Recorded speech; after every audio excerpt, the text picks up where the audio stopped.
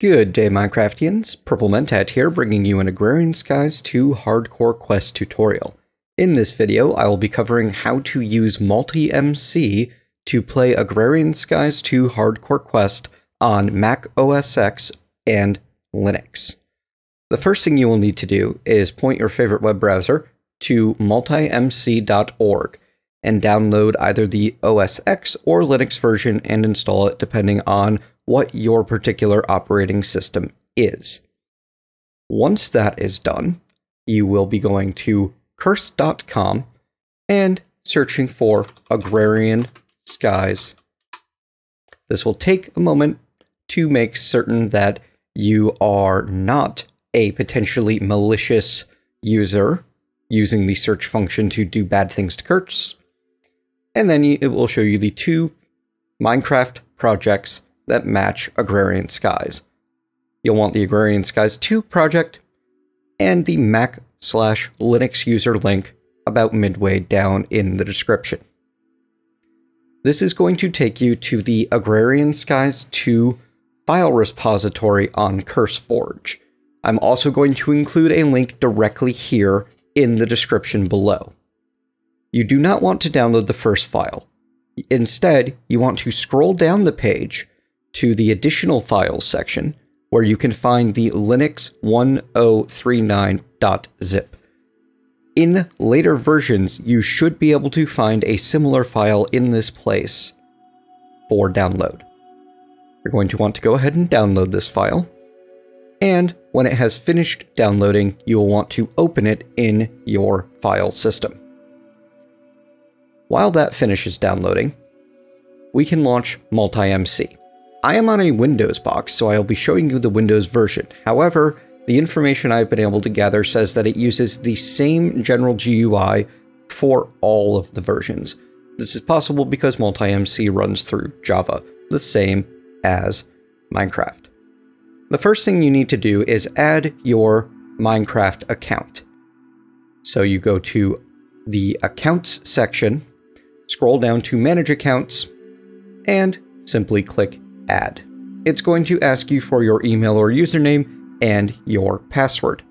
Let me put those in off screen. And once you have added your account, you can go ahead and set that as the default. Now, when you go to your accounts, you'll see that you are on Purple Mentat for me, or whatever your account name is. You will want to click the Add New Instance button right here we're going to name this instance Agrarian Skies 2.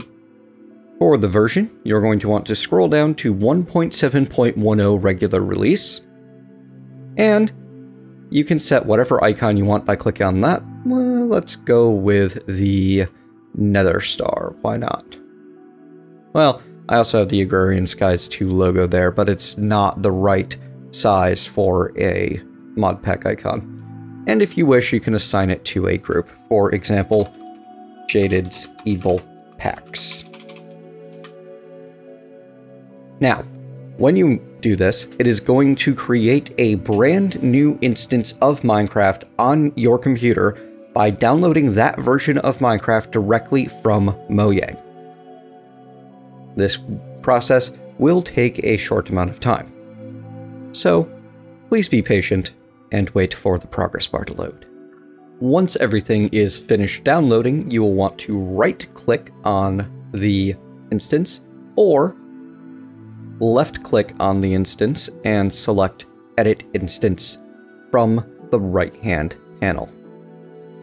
In version, you will click Install Forge and wait for the Forge version lists to be fetched.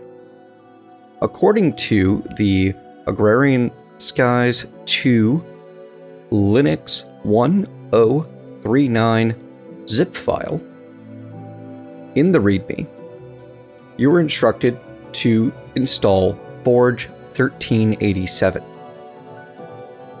So go ahead and scroll through to find Forge 10.13.3.1387. If you use a version after this, it will not work. Click OK, and again, play Progress Bar Quest. Now, you can close out of this and click the Open the Instance folder in a file browser button. This should open the multi-MC slash instances folder no matter what system you're on or where you have saved it. Open up Agrarian Skies 2, and then open up Minecraft.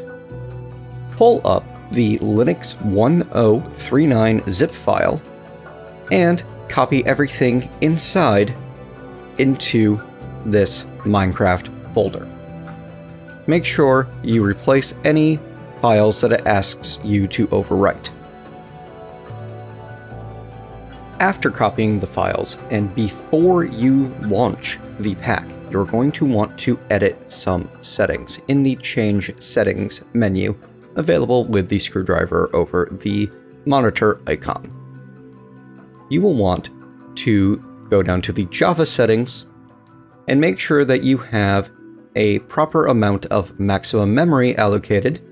In my case, I allocate, I believe, far too much and go ahead and give it 4 gigs because I have a ridiculous amount of memory and a very fast computer. But I've heard that you should not allocate any more than 1 gigabyte of, I mean 2 gigabytes of RAM. And you're going to want to make certain that the PermGen is set to 256. Now, this particular flag has been removed in some versions of Java, but I believe that the Java 7 that they recommend for Minecraft is still making use of it.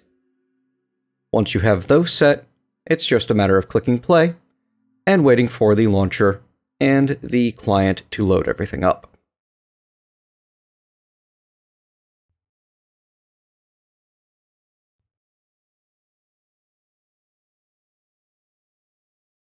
Once you're loaded, you're all set set your options as you like, and select whichever map you would like to play. If you need to reset a map, you've got a button in the upper left hand corner to do exactly that. I hope that this has been useful for you, and that you, using the Mac and Linux platforms, will find this an easy guide to playing Agrarian Skies 2 on your platform of choice. Thank you very much for joining me, folks. You can expect more Agrarian Skies 2 tutorials where we'll be getting into the actual gameplay side of things in the very near future. See you next time.